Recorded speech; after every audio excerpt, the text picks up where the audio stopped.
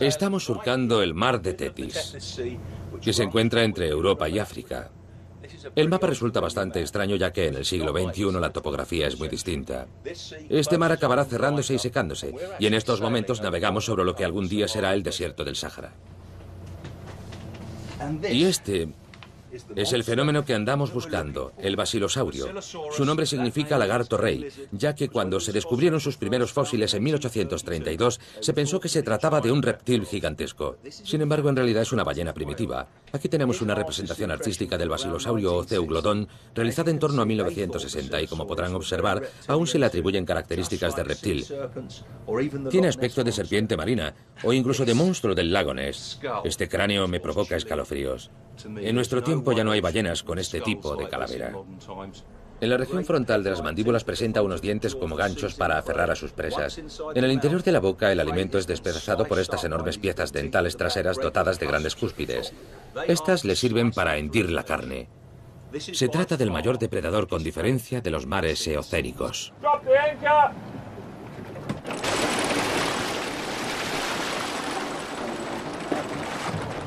La estructura ósea de los cráneos fósiles demuestra bien a las claras que el basilosaurio tenía muy buen oído. Las actuales ballenas son muy ruidosas. Esperemos que este arqueoceto también lo sea. Aquí tenemos un equipo de grabación subacuática y si conseguimos captar sus conversaciones quizá logremos localizar su posición.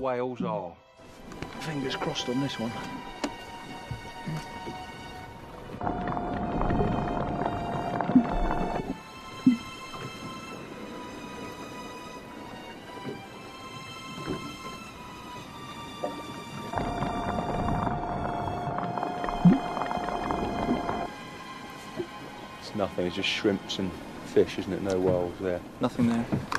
Let's move off somewhere else. Okay.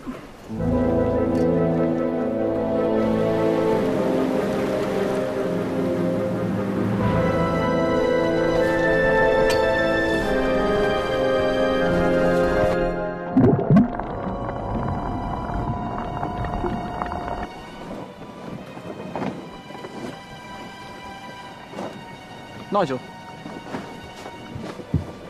Oh, got something there. Oh, that is spooky. It's definitely Yeah, a whale. Definitely. And maybe we found the Basilosaurus.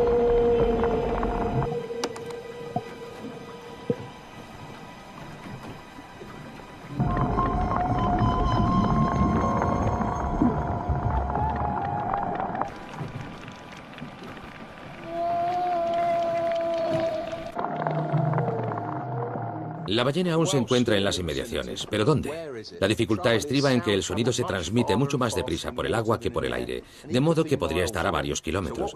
Por lo tanto, debemos tratar de atraerla. Ese fantasmagórico sonido que oyen es su propio reclamo, que hemos grabado previamente y ahora lo estamos reproduciendo en el océano por medio de un enorme altavoz. Si tenemos suerte, creerá que se trata de otra ballena que ha invadido su territorio y vendrá hacia nosotros.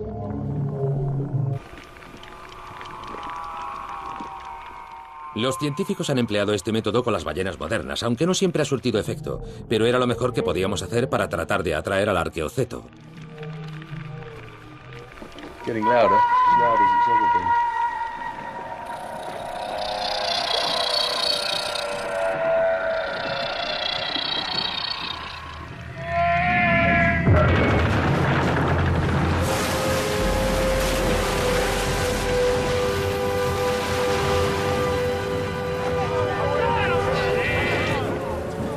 Ignoramos cuánto tiempo se quedará por aquí. Tendremos que darnos prisa.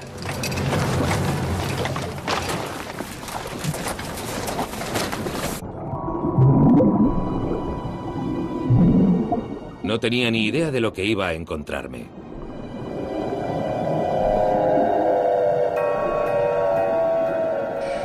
Esto es apasionante. Podría aparecer por cualquier lado, por debajo, por detrás. Por eso estoy usando el barco como escudo. Su enorme silueta da la impresión de ser un gigantesco superdepredador, de modo que no se aproximará demasiado.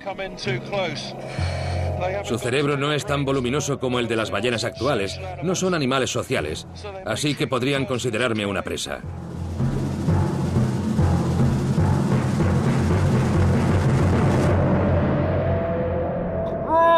Wow! Y allí estaba.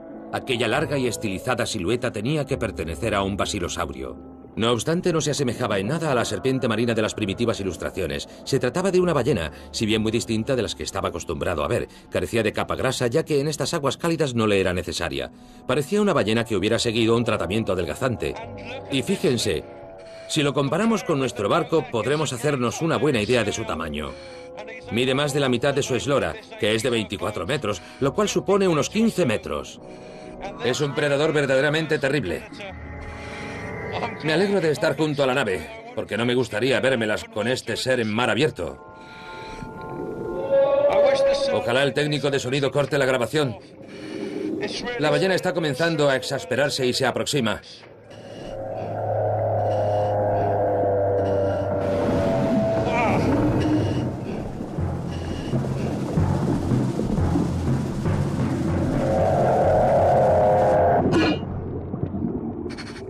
Ha arrancado el altavoz de un bocado y lo está sacudiendo como haría un terrier con una rata.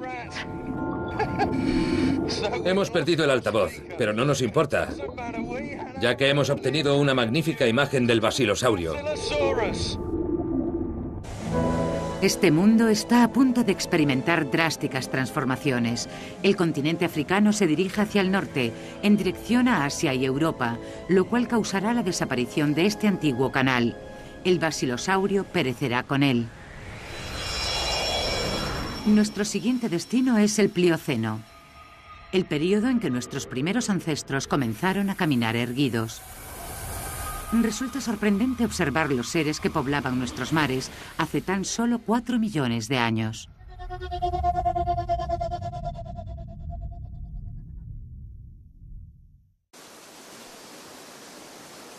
Nos encontramos en Perú, en la mismísima costa del Pacífico.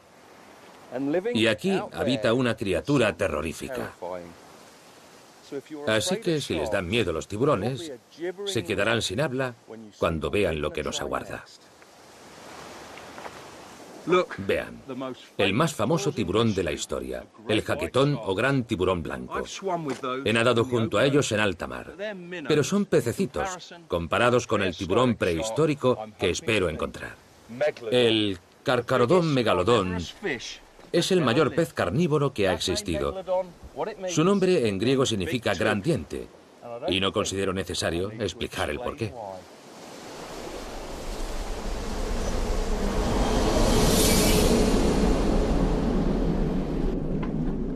A fin de dar caza al carcaradón megalodón, hubimos de aventurarnos en unas aguas más peligrosas si cabe, así que la cautela comenzó a cundir entre la tripulación. No había acuerdo acerca de nuestra estrategia. I think we should head straight out into the deep water. The weather may change. Let's look for the adults. I think we should start with the juveniles. We haven't got enough time to do that. Oh, I think we should go for the smaller ones.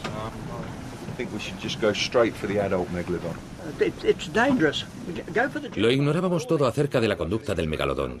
Algunos arguían que merecía la pena estudiar individuos más pequeños y menos peligrosos antes de arriesgarnos a sumergirnos con un ejemplar adulto. Al final tuve que darles la razón.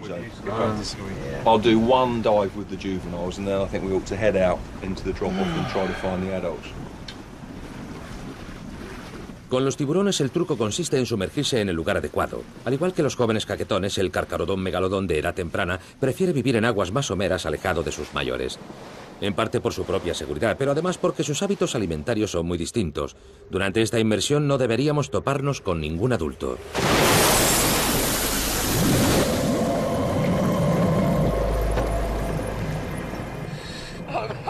Voy pegado al kelp. No quiero que me encuentren en mar abierto. A los grandes depredadores no les gusta aventurarse entre las algas densas. Además, aquí espero dar con las presas de las que se alimentan los jóvenes megalodones. Y son unas criaturas de lo más singulares. Ahí está. Un Odobenocetops neptadon. Su nombre es un híbrido de griego y latín que significa ballena que camina sobre sus dientes. Y la razón salta a la vista. Uno de sus colmillos mide unos 30 centímetros de longitud, pero fíjense en el del lado derecho. Vean, debe de medir casi un metro. Posiblemente los machos lo usen para batallar entre sí durante la época de apareamiento, del mismo modo que los narvales. Increíble, son magníficos.